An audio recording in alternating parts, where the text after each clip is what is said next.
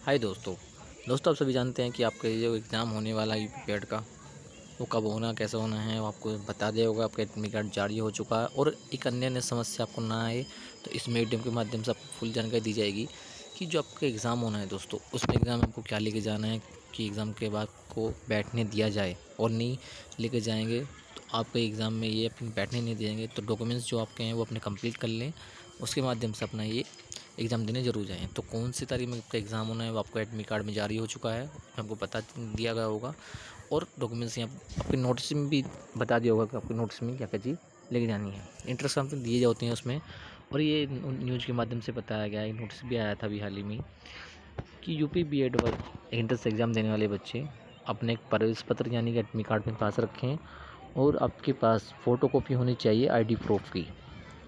ID proof original होनी चाहिए।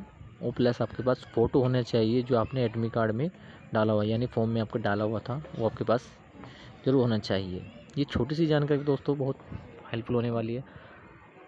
आपके पास ये चीज़ नहीं है तो आपको बैठने नहीं दिया जाएगा एग्ज़ाम में तो एक बार ज़रूर ध्यान रखिए, अपनी चीज़ ज़रूर लेके जाएँ। एडमिट कार्ड आपकी फ़ोटो को भी आई फ़ोटो आईडी की, और एक फ़ोटो ज़रूर आपके पास होनी चाहिए।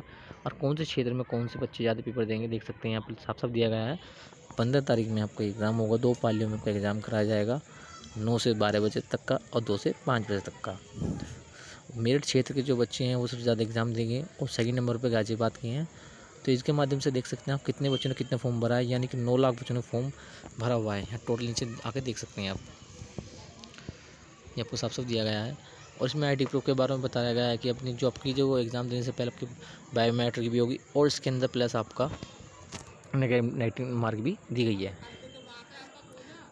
फ़ोटो कॉपी के माध्यम से पहली पहली चित्र में आप देख सकते हैं फ़ोटो आपके पास होनी चाहिए, बायोमेट्रिक आपकी कराई जाएगी और गलत काटने पे आपका अंक कटेगा। यानी कि वन बाई थर्ड की आपकी नेगेटिव मार्क इसमें दी गई है।